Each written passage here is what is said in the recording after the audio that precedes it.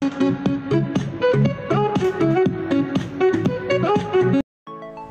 guys, no? Ang ating gagawin ngayon guys, no? Mag-unboxing ulit tayo ng ating parcel, no?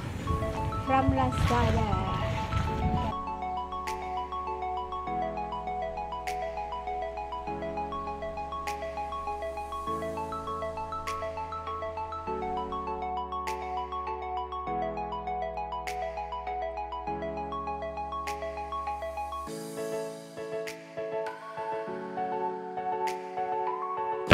Antibacterial soap. So, naghanap ako ng ano ng ng mabilhan kasi nga mga sitapel yung mga tinda natin na mga lotion no at saka wash and shampoo para sa mga bata. So, may mga nagtatanong ng uh, uh, Cetaphil soap na antibacterial. So, nag-order ako guys kasi nakita ko rin yung mga reviews niya, mga magaganda, no? Puro satisfied yung mga customer nitong uh, store na ito kaya nag-order din ako. Susubukan natin.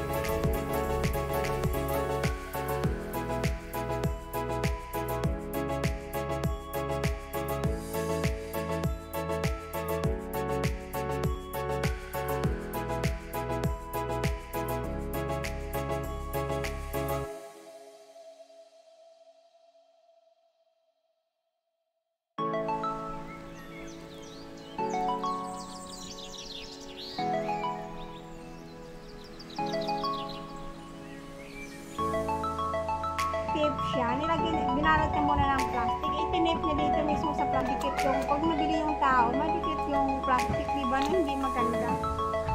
Hindi maganda pagkaano nila, pagkabagot nila, no? Ayan o, dinikit nila sa ano. Sinabi ko sa kanya na paninda ko to, so kailangan ingatan siya, no? So, dinikitan nila ng ano yung, ano, yung plastic, ipapaano ko, mas